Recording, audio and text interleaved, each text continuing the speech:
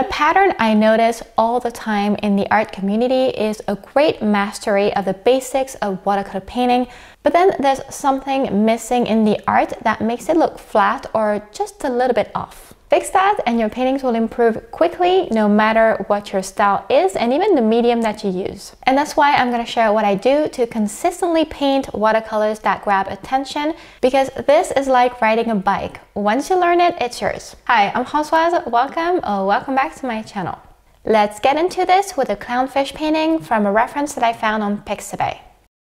To master watercolor painting, you already know that you're gonna need a wide set of skills like some sketching, composition, color mixing, water control, using all the right techniques, also the right supplies. And for a beginner, it's just a normal thing to focus on those things at first. But then comes the time when many of us get past that beginner stage. We get more comfortable with painting, but somehow we're still feeling stuck. And if that's you, that could be that you notice that your work looks flat, boring, or unrealistic, and you're not sure what to do to fix it. And in other cases, you've unlocked the next level where your art looks more confident and more professional, but you notice it is not consistent because sometimes it turns out great and sometimes it's a bit off. In both cases, I think that is because the basic skills are just the tip of the iceberg, and a lot of us miss the bigger picture when we learn art. And what I'm going to share today is something that I'm still working on actively as a more advanced painter. So it's really a work in progress. So what I mean is that basic skills will get you to feel comfortable with watercolor painting, but they are not enough to guarantee that you're able to paint what you envision every single time. And this video comes from the fact that I'm often told that I seem to be able to paint any subject in any medium. And thinking about this, I noticed that it's really coming from one thing, which is observation, because that helps me decide exactly what to focus on and how to translate this through painting. I paint realistically, but I noticed that what I'm going to show you can also be found in loose watercolor paintings that look compelling. That's why I think it's so important. The first thing that you want to observe really closely is how color builds up contrast in a reference photo. And if you can do that, this is really gonna help you make sure that your paintings don't look flat and that they look more pro. You've probably heard of the light, mid, and dark tones, and this is way more important than the actual colors that you choose, and that's why when I teach, I'll tell you that you can use other colors than the ones that I chose. Because when you think about it, we can pick any reference photo and change all the colors and still get great results. And that to me is proof that contrast is built through something else than just color. But the first step still is to pick some colors, preferably as few as possible. First, to remove overwhelm from having too many, but also to guarantee a good color harmony to your painting. That's why here, first I look at what I see in the reference at first glance. So here I see purple, green, orange, and a grayish brown color. So what I used to do as a beginner was to buy all the colors and just pick whatever color looked like what was in my reference. But if you're more comfortable with color mixing, it's going to be more effective to work from a limited palette. And there are several ways to do this. For example here, I'm noticing hints of orange yellow in the fish and hints of blue in the purple parts. So um, I'm thinking that I might as well just stick to the primaries to recreate all the colors. Yellow and red make orange, blue and red make purple, etc. So that's always the most simple way to build a simple palette and still paint any color you see in a photo when you pick the primaries. But sometimes it's boring to just paint with the primaries. We want to play around with other colors that we have. So when that happens, I look for anything that is close enough to the primaries, just a little bit more fun to use for a change, like this lemon yellow, and more fancy colors like this Mayan orange, Cinereous blue, Imperial purple, and Graphite gray. And what's nice is that blue or purple mixed to orange or yellow tend to turn into a muddy mix, which could work for these dark areas at first glance, so I never worry about the dark parts when I choose my initial colors since I know that we can easily create mud with a limited palette. Now I know what I want to use. Remember, colors are not the most important thing. I'm going to focus on tone. And guess what? This is going to be easy to do now and extremely efficient for a painting because the palette is so limited in the first place. And planning for light, mid, and dark tones in the painting is one of the things that many people tend to forget about. And so, if you're having trouble leveling up watercolor, you might want to focus on that if you're not doing it already.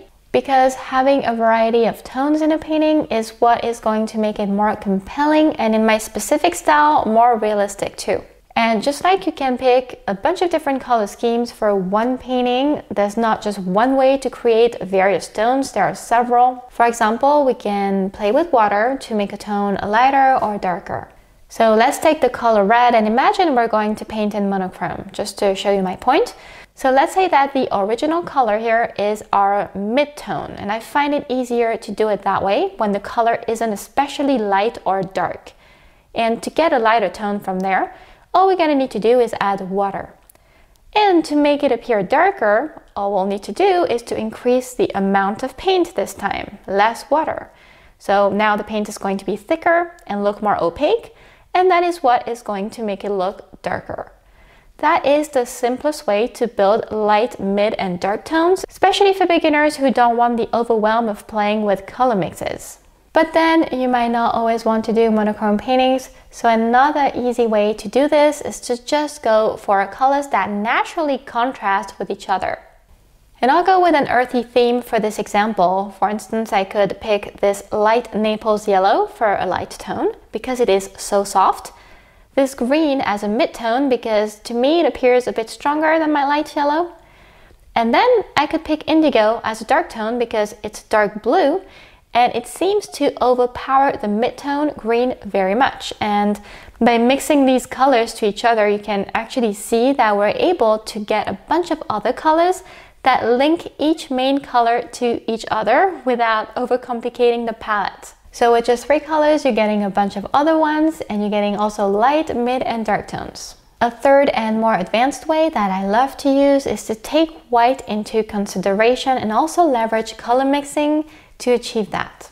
For example, I already see white in the reference in the fish, so I'll just consider that the paper is going to be the light tone right there. And remember, we can use white gouache or white watercolor for this. It doesn't have to be paper, but the white from the paper is always going to look more dramatic than anything else. My midtones will be the colors that I picked for this painting, minus the graphite gray that I prefer to keep for the darker parts. So after wetting the paper, I apply the brightest colors first, and lemon yellow and cinereous blue in particular really help add life to the painting because they're so bright. And I chose those bright colors because graphite gray has the potential to dull the painting later because of all the dark parts in the background, so I thought I'd need these to balance that effect. We can still add more water to these colors in places if we want them to turn into even lighter tones and make the transition smoother between strong paper white parts and painted parts. The more variety you can create, the better. And subtle color transitions also help for realism if that is your style, while strong contrasted paintings could look a bit more stylized. I start adding purple everywhere else, even to the dark parts, because I don't want to only use graphite gray for these. I want to make sure that it's mixed up to my other colors, otherwise it could look very heavy and disconnected from everything else. You can see I also create green by mixing yellow and blue right on the paper. So when you're comfortable with color mixing, that's one of those smart choices that you could plan for in advance you get more colors in a painting from a limited palette. This first layer is way too light as you can see and since the paper dries after a while, I like to speed up that drying process, wet the sheet again and paint another layer. That's usually when I'll start including my dark tone. Here it's graphite gray. But that doesn't mean that I can't keep adding my midtones for more vibrancy of color and also even more tones created because watercolor is transparent when it's not thick. So the second layer overlaps on some of the first layer here and that will either intensify some parts or make other ones darker depending on the colors that I use. Now I'm ready to add more of that graphite gray color and when I think it's too dull, I can still overlap more purple onto it while it's still wet. And I rarely do a third layer, but that's something that you can consider if you haven't managed to get the result that you want from the first two, especially if your paper is a good one. Here, for example, I'm using the Arches 100% cotton watercolor paper, it's cold press, and I know it can bear many layers. And now a cool way to add contrast to this background for this specific painting is to splatter some water on the drying paint. And not only does that help with the underwater effect, but notice how it also makes the dark parts look a little bit more fun. And since we're getting some of the white paper back by doing this, I know that it will help tie this background together with the fish even more. In other realistic paintings where splatters will look strange, like a sky for instance, I would consider leaving paper white parts when I do the background. So now you know how I study color in a reference photo, how I pick a convenient theme, and how I build up contrast. And now with the fish, I would like to show you something else that is key to mastering watercolor beyond the basics. So far, if that makes sense to you, but you know that you would need some guidance in real time to really understand this, you'll find this fish painting on my Patreon, as well as a bunch of other tutorials that follow the same principle with contrast and tones, and I'll link that in the description of this video. To nail contrast and make it work for you, you also need to pay attention to something called edges. And again, observation here is key. And to simplify the term, I'd say that edges have to do with the way that you get from one color to another in a painting. Because there are four types of edges and each one produces a different effect. That's why they're so important, especially for those of us who enjoy realism but still want the loose aspects of watercolor in their paintings. But again, look closely at what your favorite watercolor artists are doing and you'll notice that they use some or all of them to create interesting effects. The first type of edge is a hard edge. It's when two areas are distinct from each other and with watercolor, this is really easy to achieve on dry paper especially. That's what I'm doing now because the paint retains the shape that we give it with our strokes. And here I'm outlining those white parts with color to retain their shape. And now you can very clearly distinguish them from the yellow and reddish parts. I'm doing that again here with the fin. And you can also clearly see it here when I add the dark parts around the fins. That helps that fish pop against the background. It looks very defined now. Another type of edge is the soft edge, and that's easily created on wet paper, but you can also do it on dry paper like I'm doing here by adding a slight shadow to the bright white parts in the fish. Because you can see here that I'm softening the hard edge with a clean and damp paintbrush just so the paint doesn't dry in that way and just so it melts into the white background. So now you can see we end up with a gradient that gets us from one color to the next without anyone noticing because it's so subtle. These two types are the ones that I use the most in my paintings and the soft edge is especially good to build realism because having just hard edges all over can quickly make any painting look very cartoony. That's why a good mix of both is a great strategy. Then there are two more edges we don't talk about very often. There's the found edge and the lost edge and I'll use them sometimes when I want to melt a subject into a dark background, but there are other ways you can use them. So the found edge is a bit like a hard edge. It helps distinguish a subject from a background or a part from another part, but it's a little more subtle than what we did with the fish here. Although we could argue that this white part in the fish here has a found edge because the background is pretty light beneath it, but it still shows, it's still hard enough of an edge. Then the lost edge is just a blurry area between the subject and the background or between two parts where you can barely tell where one starts and where the other one ends.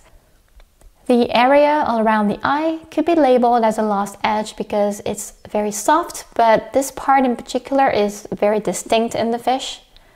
So these two, the found and the lost edges, they're closely related to hard and soft edges they're a little more rarely talked about, and there's something that I like to play with and even exaggerate a bit more in my own paintings because I think that when you focus on those, they can take a realistic painting to the next level even more by adding more creative interpretation into it, making it look looser and still realistic at the same time.